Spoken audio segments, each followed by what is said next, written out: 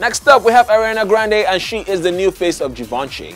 Ariana Grande is the new face of Givenchy. Following the Instagram post from Ariana, Givenchy's official account and creative director Clare Waight Keller, the fashion house has confirmed that the superstar will front the Autumn-Winter 2019 campaign unveiled in July. I am so proud to be the new face of Givenchy, Grande said in a statement. It is a house I have forever admired and to now be part of that family is such an honor. I love this clothing and the confidence and joy it brings to the people wearing it. Not only is the clothing timeless and beautiful, but I am proud to work with a brand that makes people feel celebrated for who they are and unapologetic about whatever they want to be.